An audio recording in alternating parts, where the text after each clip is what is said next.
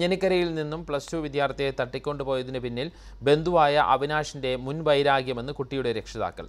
വീട്ടിൽ നിന്ന് ഒഴിവാക്കിയതാണ് മുൻവൈരാഗ്യത്തിന് കാരണമെന്നും അമ്മ ഏഷ്യാനെറ്റ് ന്യൂസിനോട് പറഞ്ഞു.